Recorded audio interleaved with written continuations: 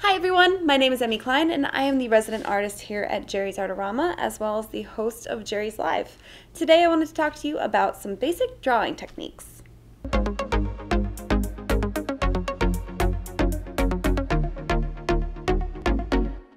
So the first thing I've done is transfer my drawing down onto my paper using the grid technique. Now the paper I'm using is the Soho Bristol because it has a very smooth surface so it doesn't show a whole lot of texture uh, as I lay my graphite down.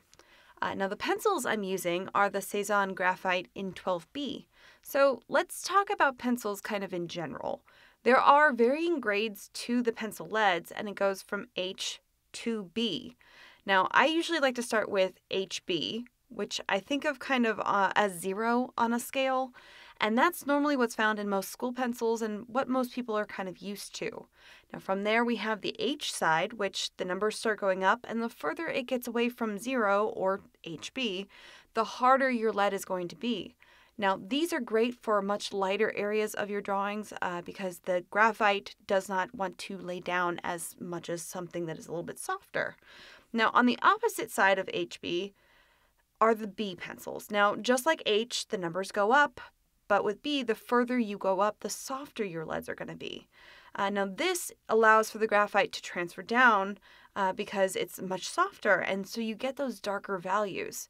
Now, for those of you who are wondering, H stands for hard, B stands for black, and HB stands for hard black.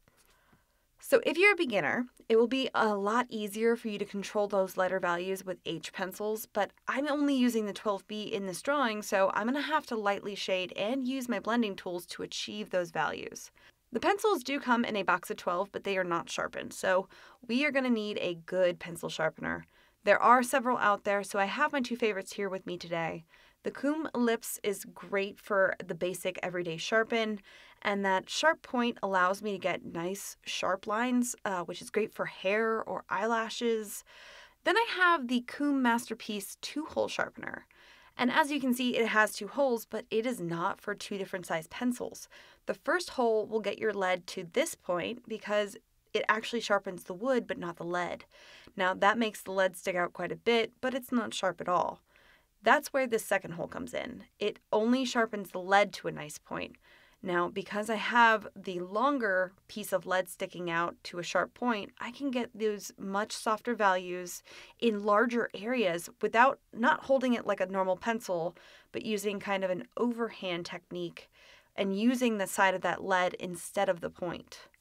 So let's get started on this drawing. We're going to fast forward my actual drawing a bit for you guys because this medium does take a lot of time to finesse and kind of layer down. Now, unlike painting where I try to address the whole piece in its entirety, with my pencil drawings, I usually pick a point to start and kind of work my way out from there. Not that I won't go back and forth to address value issues as I see them, but this is how I work for the most part with pencils. Now, for me as a right handed person, I like to start somewhere on the kind of left ish side of the drawing. I know I'm going to block in his hair all in one go, so I figured the eye would be a really good place to start. Uh, now, you might be asking, why does it matter which hand you draw with? Well, if I were to start on the right hand side and work my way left, there's a much higher chance of me smudging my work that I've already laid down. So I can avoid that by going left to right, or also by laying down a piece of paper for my hand to rest on, which you will see me do throughout the entire process. Uh, now I'm going to continue to work and get a good layer down, finding the form and all those different values that represent his whole picture. Uh, now, I usually like to start with a kind of a lighter middle value and then build my darker areas up from there. Now that includes those highlighting areas because I will address that after the next step. Uh, so once I do have those values down, I bring in my blending tools to smooth out all of my marks and get the transitions exactly the way that I want them. There are several ways to blend graphite out, so let's talk about that. The first way is to use a blending stump, which also can be called a tortillon. Uh, now, this is a great little tool that allows you to kind of dry smudge the graphite around and usually makes your values go darker, especially when you get a buildup of graphite on the tortillon. Uh, now, on occasion, I will actually use a dirty tortillon and lightly smudge in a lighter value rather than even grabbing my pencil. Now, the second option for blending is water. And I know that doesn't sound right because even if your pencil isn't technically a water soluble graphite, it can still be smoothed out with water. Uh, it still likes to move around a little bit. Now, it is important to note that this technique works really great on this Soho Bristol, but not so much on sketch or drawing paper uh, because those thinner papers will warp and buckle with the addition of water where the Bristol can handle it no problem. So the last blending technique I wanted to show you uses the colorless blenders. Now this works great just like you would with a normal colored pencil and it smooths out your transitions without adding any color or haziness. So it was so perfect for the areas around his eye that I needed to blend with kind of a sharp point. Uh, now, it is important to know that this technique will, again, darken your values, but it is also not the easiest to erase out once it's been burnished into your paper. I knew his eye didn't need to be erased out, so it was perfect. So now that you understand how I kind of smooth out my scribbles, we need to talk about those highlighted areas that I covered up with too much graphite.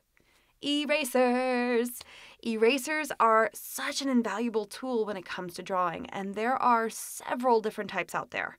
My absolute favorite is the kneaded eraser. Uh, this is essentially a squishy lump of eraser, and it's what I like to think of as my light eraser. So I use it to pick up only a small amount of graphite, allowing me to get those lighter values without having to scrub my paper. I also love that it can squish into just about any shape needed for the exact area that I'm working on. Now, the kneaded eraser is not what I would grab if I'm trying to pop in a really bright highlight. This is where my 4-in-1 Vanish eraser comes in. This thing really does actually make graphite just vanish. And it is what I grab when I need larger areas and chunks of highlights or when I need a super clean hard edge, just like I here where I erased out the highlights in his shirt. Now, the other eraser that allows me to achieve that same hard edge erasing, but in super tiny areas, is the Accurate Electric Eraser. Now, this has two different size eraser inserts, so I was able to easily erase out the highlights in his hair and his beard. So that was basic drawing techniques. I hope you guys enjoyed the process and are now inspired to go get your own pencils and go get creative.